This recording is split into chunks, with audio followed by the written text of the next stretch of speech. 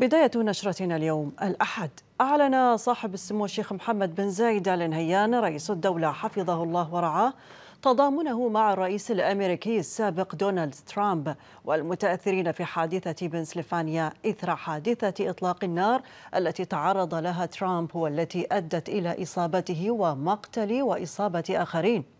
مؤكدا سموه أن دولة الإمارات تدين بأشد العبارات جميع أشكال العنف والإرهاب.